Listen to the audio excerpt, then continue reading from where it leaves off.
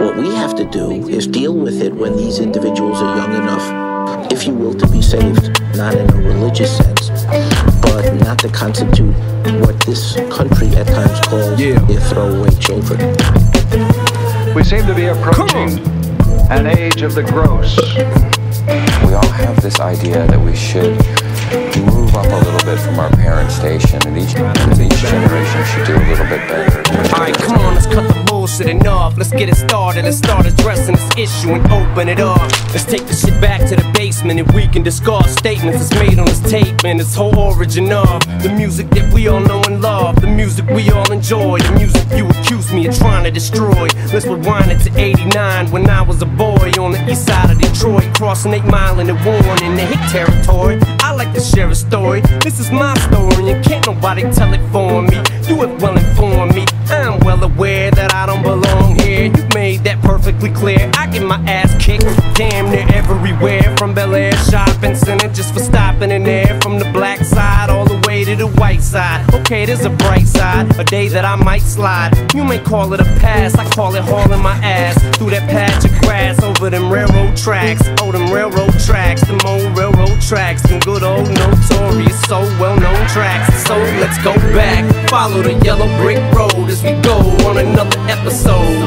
Journey with me as I take you through this nifty little place that I once used to call home, sweet home. Sweet home. Let's go back, follow the yellow brick road we go on another episode. Journey with me as I take you through nifty little place that I once used to call home, sweet home. I roam the streets so much they call me a drifter. Sometimes I'd stick up a thumb just to hitchhike, just to get picked up, to get me a lift lifter. Eight Mile and Van Dyke, or still a goddamn bike from somebody's backyard. Drop it off at the park, that was the halfway mark to me. Kim had to walk back to her mama's on Chalmers after dark to sneak me in the house when I'm kicked out my mom's. That's about the time I first met Proof with Goofy Gary on the steps at Osborne handing out some flyers. He was doing some talent shows at Centerline High. I told him to stop by and check us out sometime. He looked at me like I'm out my mind. Shook his head like white boys don't know how to rhyme. I spit out a line and rhyme birthday with first place, and we both had the same rhymes that sound alike. We was on the same shit, that Big Daddy Kane shit, but compound syllable sound combined. From that day we was down to ride. Somehow we knew we'd meet again somewhere down the line. So let's go back, follow the yellow brick road as we go on another episode. Journey with me as I take you through this nifty little place that I once used to call home, sweet home. Sweet home. Let's go back, follow the yellow brick road as we go on another episode.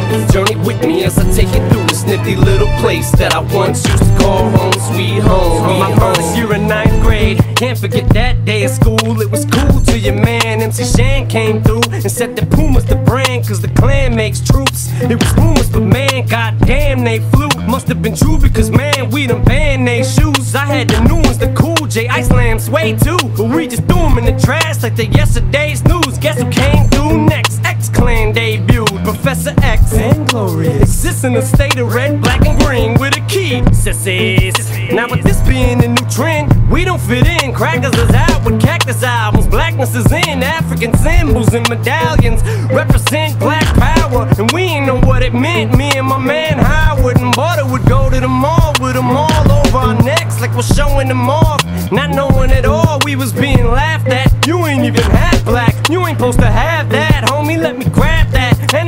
Flav clock, we gon' have to snatch that. All I remember is meeting back at Mannix's basement, saying how we hate this, how racist, but dope. The X Clan's tape is, which reminds me, back in '89, me and Kim broke up for the first time. She was trying to two time me, and there was this black girl at our school who thought I was cool cause I rap, so she was kinda eyeing me. And oh, the irony, guess what her name was? Ain't even gonna say it. Plus, the same color hair as hers was, and blue contacts, and a pair of jugs. The bomb is goddamn girl in our whole school. If I could pull it, not only would I become more popular, but I would be able to piss Kim off at the same time. But it backfired. I was supposed to dump her, but she dumped me for this black guy, and that's the last I ever seen or heard or spoke to the old foolish pride girl. But I've heard people say they heard the tape, and it ain't that bad, but it was. I singled out a whole race, and for that I apologize. I was wrong, cause no matter what color a girl is, she's still a soul.